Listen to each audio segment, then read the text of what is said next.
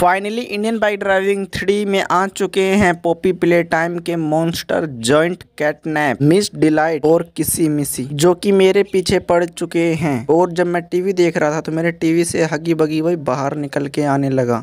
ये मेरा Poppy play time का पार्ट थ्री वाला गेम प्ले है। और अगर इससे पहले आपने नहीं देखा है तो वो आप लोगों को समझना पड़ेगा। और जब हम हगी बगी को मार के अपने घर पे पहुँचते हैं तो हमारे घर के बाहर एक पेम्पलेट सा बॉक्स पड़ा रहता है, जिसे लेके मैं अंदर चला जाता हूँ। और इसके अंदर एक पोपी द डोल रखी होती है। और जब मुझे शक होता है तो मैं वापस उसी टॉय फैक्ट्री के अंदर जाता हूँ। और इस बार मैं उसके दूसरे कमरों में देखने लगता हूँ। और यहाँ पे वही बहुत से टॉय यहाँ पे रखे हुए थे। और वहाँ से मैं कुछ खिलौने अपने घर पे लेके आ जाता हूँ। और जब मैं उन लोगों को देखने लगता हूँ तो मेरे घर पे मोमी द लोजी आ जाती है। और अगले दिन यहाँ पे बोबी डोल भी बोलने लगती है, जिसे देख के मैं बहुत ज़्यादा डर जाता हूँ। लेकिन वो पोपी डोल बहुत अच्छी रहती है, और वो मेरी मदद करती है वो सारा सामान इकट्ठा करने में, जिससे कि मैं मोमी लोनलेस को मार सकता हूँ। मैं सारा सामान इकट्ठा कर लेता हूँ, और मैं और पोपी वापिस से हम लोग जाते हैं उसी टॉय फैक्ट्री पे। और जैसे ही मैं उसके अंदर जाता हूँ ना भाई, यहाँ पे तो यार बहुत सारे पजल वगैरह भाई यहाँ पे दे रखे हैं। और गेम वगैरह भी वही बहुत सारी देर मैं उन सभी को खेल लेता हूँ। और फाइनली मैं मोमी द लोनलेस को मार देता हूँ। और भाई जब मैं वापस से ट्रेन के अंदर जाने के लिए चढ़ता हूँ तो भाई वो ट्रेन क्रैश हो जाती है। और वो ट्रेन क्रैश होने के बाद मुझे दिखाई देती है एक पर्पल बिल्ली। और ये वीडियो है ना इसको मैं दो पार्ट में बनाने वाला हूँ तो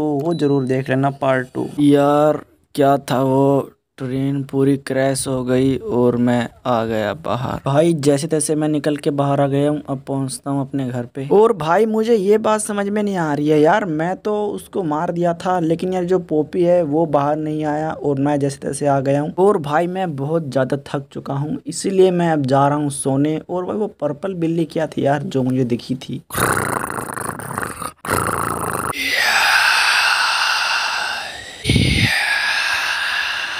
हैं ये क्या सपने आ रहे हैं भाई मेरे को? और ये कैसी कैसी आवाज़ आ रही है? और ये क्या है?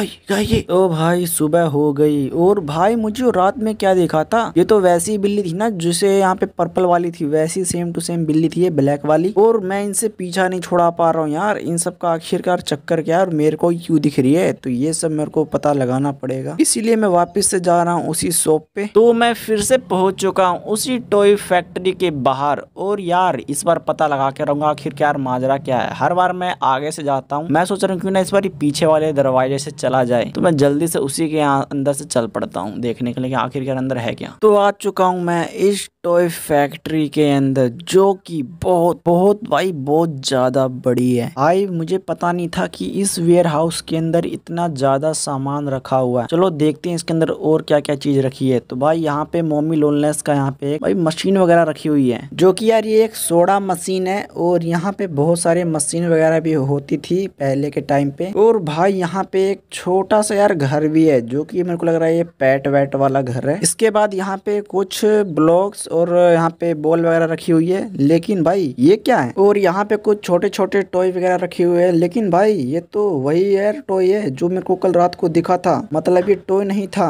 वही बिल्ली थी। और हाँ मुझे याद है, जो मेरे सपने में जो बिल्ली आई थी, उसके गले में भी ऐसा ही चाँद लटका हुआ था। और भाई ये भी एक शैतानी टॉय है, मुझे अब समझ में आया, जिसका नाम है कैट नैप तो भाई यहाँ पे कुछ और भी रखे हुए हैं कुछ। और ये भी भाई सैतानी टॉय है, मुझे अब समझ में आया। और यहाँ पे भाई ग्रैप्स पे कुछ हाथ वगैरह रखे हुए हैं। तो भाई यहाँ पे तो यार एक पहला हाथ है, वो यहाँ पे कुछ गन जैसा लग रहा है। और भाई एक हाथ तो बहुत ही एडवांस लग रहा है, ये पर्पल वाला। तो मैं इनको बाद में देखता हूँ। और यहाँ पे कुछ कार्डबोर्ड वगैरह रखे हुए हैं, वही प्रेस वाले। और इधर भाई कुछ टॉय वगैरह भी रखे हुए हैं। ये भाई पोपी प्ले टाइम की फैक्ट्री है। और भाई इनकी फैक्ट्री ऐसे हुआ करती थी, मैंने ये फैक्ट्री कैसेट में देखा है। और पीछे कुछ यहाँ पे भाई टॉय कार वगैरह भी रखी हुई है। ये शायद इनका ही कुछ प्रोडक्ट होगा। और क्या है भाई इधर? इधर भाई एक वॉल है जो कि यार पोपी प्ले टाइम के कलर से बना हुआ है। और भाई ऐसी फ्लोर इनके हर जगह रहती है। और ये ये क्या है? ये तो कैट भी है। ये तो टूटी पड़ी है